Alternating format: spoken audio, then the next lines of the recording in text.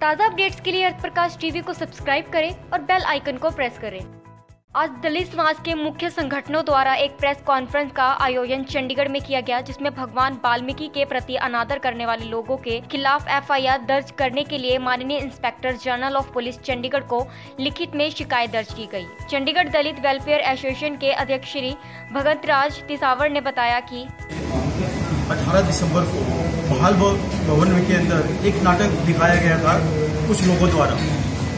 उसमें भगवान वाल्मीकि जी की छवि को आपराधिक दिखाया गया।